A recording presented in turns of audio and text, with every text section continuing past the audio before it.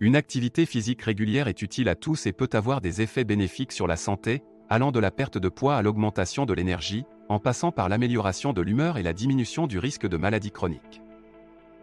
Cependant, selon plusieurs experts, elle peut être encore plus utile aux personnes atteintes de prédiabète, de diabète de type 1, de diabète de type 2 et de toute autre forme de diabète. En effet, il a été prouvé qu'une activité physique régulière permet d'augmenter le taux de combustion de l'énergie et de réduire la résistance à l'insuline, deux facteurs cruciaux pour inverser le diabète de type 2 et s'assurer d'un contrôle précis de la glycémie en cas de diabète de type 1. Nous allons explorer les avantages de l'exercice physique pour les différents types de diabète, les points auxquels il faut faire attention en faisant de l'exercice, ainsi que quelques conseils et suggestions pour commencer votre programme d'exercice. Activité physique et diabète de type 1. Tous les professionnels de santé considèrent l'exercice physique comme un élément essentiel de la vie de toute personne atteinte de diabète de type 1, et ce pour plusieurs raisons. Étant donné que les personnes atteintes de diabète de type 1 n'ont pas, voire très peu la capacité de produire de l'insuline endogène, le fait de rester sensible à l'insuline peut faciliter le contrôle de votre glycémie et signifie également que vous aurez besoin de moins d'insuline en moyenne. L'exercice aide également à maintenir la pression artérielle et le cholestérol dans une fourchette saine, ce qui est bon pour tout le monde, mais peut être particulièrement utile pour les personnes atteintes de diabète de type 1, qui sont plus susceptibles d'avoir un taux élevé de cholestérol, de triglycérides et de pression artérielle. Enfin, des recherches ont montré que l'exercice physique peut réellement réduire le stress oxydatif et l'inflammation, qui sont tous de plus fréquents chez les personnes atteintes de diabète de type 1. Il existe donc de nombreuses raisons de faire de l'exercice en tant que diabétique de type 1. Toutefois, si vous êtes atteint de diabète de type 1, vous devez être conscient de certains aspects de l'exercice, qui seront expliqués plus loin.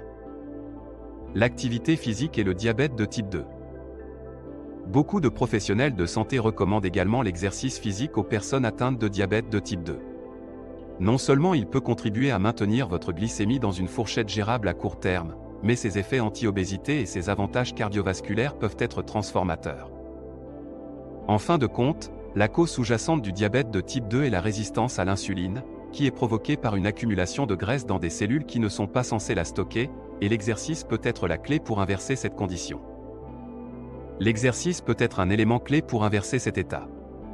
Et si vous inversez la résistance à l'insuline, vous êtes en grande partie, si ce n'est totalement, en mesure d'inverser le diabète de type 2. Encore une fois, lorsque l'on intensifie un programme d'exercice avec n'importe quelle forme de diabète, il faut tenir compte de quelques caractéristiques clés, que nous expliquerons dans la section suivante. Risque potentiel de l'exercice physique chez les diabétiques. Il existe trois principaux facteurs de risque pour les personnes diabétiques qui font de l'exercice, en particulier lorsqu'elles commencent un nouveau régime ou un nouveau programme d'entraînement. Ces facteurs de risque sont les suivants, les fluctuations de votre glycémie, les complications articulaires et les problèmes secondaires comme la neuropathie et la rétinopathie. Fluctuation de la glycémie de nombreuses personnes diabétiques sont confrontées à des fluctuations de la glycémie lorsqu'elles commencent à faire de l'exercice. Cela peut prendre la forme d'une hypoglycémie, qui se produit souvent parce que vous brûlez plus de glucose que d'habitude en raison de l'exercice, ou d'une hyperglycémie, dans laquelle votre corps produit plus de glucose que d'habitude après une séance d'entraînement. Si l'on ajoute que de nombreuses personnes souffrant de diabète souffrent également d'autres troubles du métabolisme, comme le syndrome métabolique, il peut être difficile de faire de l'exercice au début. C'est pourquoi de nombreux spécialistes du diabète se concentrent sur la manière d'augmenter progressivement l'exercice physique sans perdre le contrôle de la glycémie, nous y reviendrons un peu plus loin dans cette vidéo. Complications articulaires. Les douleurs et complications articulaires constituent un autre défi possible pour les personnes atteintes de diabète. Le diabète peut généralement aggraver les douleurs articulaires de trois façons, par une inflammation accrue, en endommageant les terminaisons nerveuses de votre corps, ou par un risque accru d'arthrite. Si l'on ajoute que les personnes diabétiques sont plus susceptibles d'être en surpoids, il est clair qu'il faut faire attention à certains problèmes initiaux lorsqu'on commence à faire de l'exercice. Les poussées de symptômes. Enfin, une difficulté secondaire de la fluctuation de la glycémie est la possibilité que certaines complications du diabète, comme la rétinopathie, troubles visuels, la neuropathie, lésions nerveuses ou confusion, et la fatigue, puissent également s'exacerber. Si vous commencez à faire de l'exercice et que vous remarquez que l'un de ces symptômes commence à se manifester et persiste après l'arrêt, consultez votre médecin. Le jeu en vaut-il donc la chandelle? Oui, dans une large mesure. Les experts considèrent l'exercice comme l'une des étapes fondamentales de l'amélioration de la santé de votre diabète, et presque tous les risques peuvent être gérés en toute sécurité en augmentant lentement votre niveau d'exercice et en travaillant avec votre prestataire de soins pour trouver une stratégie qui vous convienne. Conseils et astuces pour faire de l'exercice avec le diabète. Il y a deux choses principales que les personnes atteintes de diabète peuvent faire pour s'assurer qu'elles sont préparées pour l'exercice. La première est d'avoir un plan et de s'assurer que vous ne vous surmenez pas trop rapidement et que vous ne vous faites pas mal ou que vous ne dépassez pas les limites de ce que votre corps peut supporter. En collaboration avec votre médecin spécialiste du diabète, vous pouvez concevoir un programme d'exercice qui vous convienne, à vous et à votre corps, et vous aider à passer à des exercices d'intensité faible, moyenne et même élevée. Nous aborderons quelques exemples de ces exercices dans le chapitre suivant. La seconde est de vous assurer que vous avez une source de glucides facilement accessible. Chaque fois que vous vous poussez à faire de l'exercice, il est possible que votre glycémie commence à baisser, mais vous pouvez facilement y remédier en ayant des collations saines à portée de main comme une pomme, un jus d'orange, des dattes, etc. Cela peut sembler difficile au début, mais le fait de vous pousser progressivement sera la clé de l'augmentation de votre sensibilité à l'insuline et de votre bien-être à long terme. Rendre l'exercice génial. Il existe de nombreuses raisons pour lesquelles les gens ne font pas d'exercice. Ils n'ont pas assez de temps ou de motivation. Ils ne peuvent pas se permettre le coût des salles de sport, ou trouvent certains exercices ennuyeux ou répétitifs.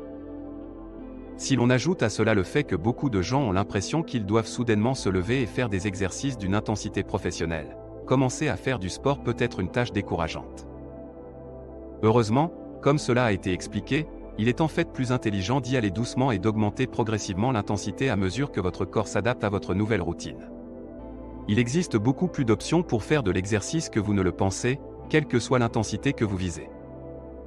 Lorsque vous commencez à travailler avec un spécialiste du diabète ou votre coach pour mettre au point un programme d'exercice, élargissez votre esprit et envisagez certaines des idées suivantes qui peuvent faire de l'exercice un moment fort de votre journée. Exercice de faible intensité. L'activité physique de faible intensité et à faible impact est un excellent point de départ pour toute personne qui commence un programme d'exercice, car les recherches montrent que même cette forme d'exercice douce peut avoir des effets positifs sur presque tous les aspects du diabète. Tai chi, yoga, marche rapide, natation, vélo, randonnée, tant que votre rythme cardiaque est élevé, vous pratiquez une activité aérobique, votre corps en récoltera les fruits. Exercice d'intensité modérée. L'exercice d'intensité modérée est le moment où les avantages de l'activité physique sur la santé de votre diabète commencent vraiment à se faire sentir. Au fur et à mesure que vous vous sentirez plus à l'aise, que vous serez en meilleure forme physique et que vous serez capable de contrôler votre glycémie, ce type d'exercice fera passer votre santé à un niveau supérieur. Une étude a montré que l'exercice d'intensité modérée, entrecoupé d'exercices occasionnels d'intensité élevée, constituait un équilibre idéal pour les personnes atteintes de diabète de type 1. Encore une fois, il existe de nombreuses façons de faire des exercices d'intensité moyenne qui peuvent être amusants, stimulants et intéressants.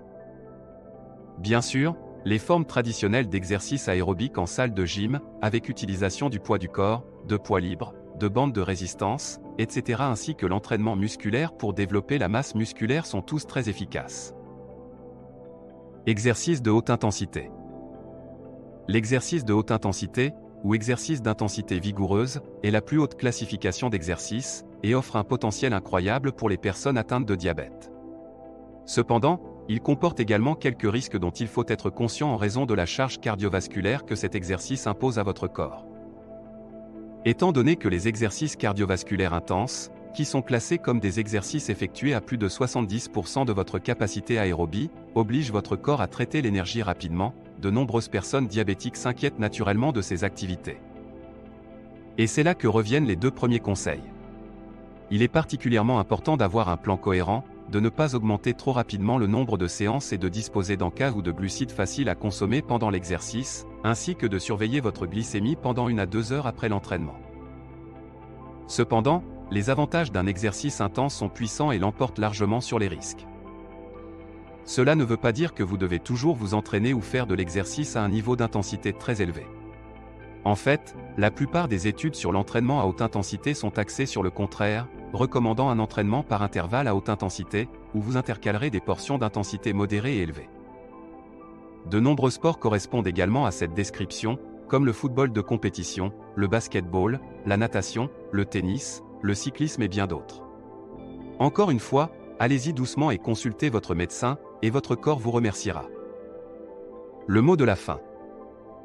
Bien que l'exercice physique puisse être un peu intimidant, surtout si vous avez des problèmes de contrôle de la glycémie, il peut être incroyablement bénéfique à long terme, une excellente façon de s'amuser, et l'une des étapes clés pour mieux contrôler votre diabète. Si vous souhaitez que je réalise personnellement une vidéo d'une de mes séances, faites-le moi savoir simplement en commentaire. Je partagerai avec vous quelques exercices simples que je pratique personnellement et qui m'aident à gérer efficacement mon diabète de type 1. Si vous aimez ce type de contenu et que vous souhaitez que je réalise d'autres vidéos sur le diabète, n'oubliez pas de mettre un pouce vers le haut et de vous abonner à la chaîne, cela me motivera à vous fournir plus d'informations pertinentes sur ce sujet. Je vous remercie et je vous dis à bientôt.